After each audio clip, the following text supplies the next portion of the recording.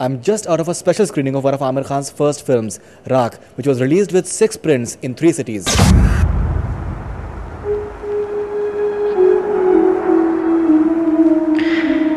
इक्कीस साल की उम्र में मेरी ज़िंदगी राख बन चुकी थी Raak is re-releasing across India with 200 prints on June 12th. मेरा बेटा मवालियों की तरह चाकू लिए घूमता है you are going to be killer ऐसा है क्या? ऐसी? किस किस का खून करने वाले हो तुम? My first reaction fantastic a work of art Aamir Khan and Pankaj Kapoor at the best तुम हसन करमाली को ढूंढ रहे हो। मुझे भी उसे खत्म करना है। No wonder Pankaj Kapoor won the National Award for Best Supporting Actor. He was truly outstanding.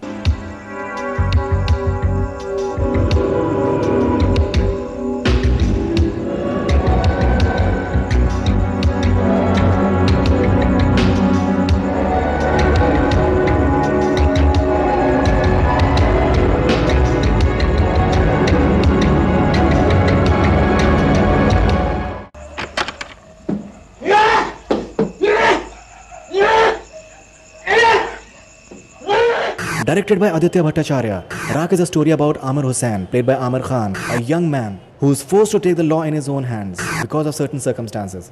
वो मुझे छेड़ रहे थे ना मैं चुपचाप संभाल लेती तुम हमेशा इतना ओवर क्यों करते हो वो मौका ढूंढ रहे थे तुमने उन्हें दे दिया The film also got a national award for best editing for A. Srikar Prasad.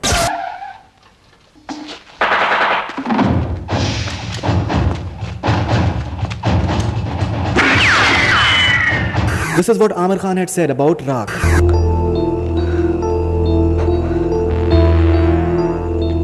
I have worked very hard on this film and invested my entire self and ability in it. I also learned a lot during its making. Uh, uh, yeah. uh, uh.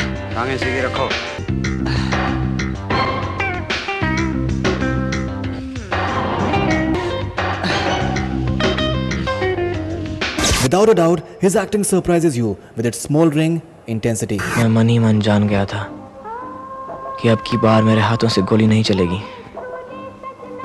मैं चाहता था कि भाग जाऊँ किसी तरह बच निकलूं लेकिन मुझे गोली चलानी ही थी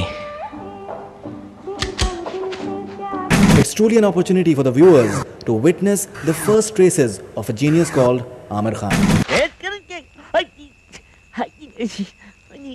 चाहती चाहती।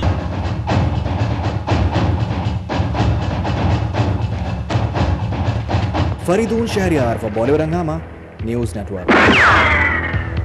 ये मेरी ज़िंदगी की राख है।